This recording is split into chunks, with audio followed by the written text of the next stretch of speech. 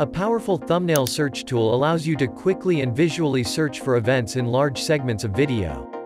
There are two ways to access this tool. First from the Event Grid menu, or using Camera toolbar. Each thumbnail represents a time interval. The thumbnail's picture is the first frame from this interval. For example, to find out when Bob came to work, first identify a thumbnail with his car. Then click on the previous thumbnail to gradually reduce the time interval until you find the exact moment you're looking for.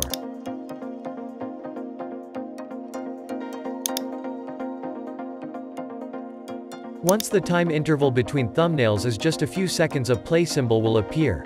Next click on the thumbnail will initiate playback from this moment. Playback can also be started at any time interval using the timestamp under thumbnail. If you missed the time interval range use the keyboard's left and right arrows to navigate to previous or following time intervals. To expand the time interval shown click on the timestamp for the interval of interest. You can change the date and camera.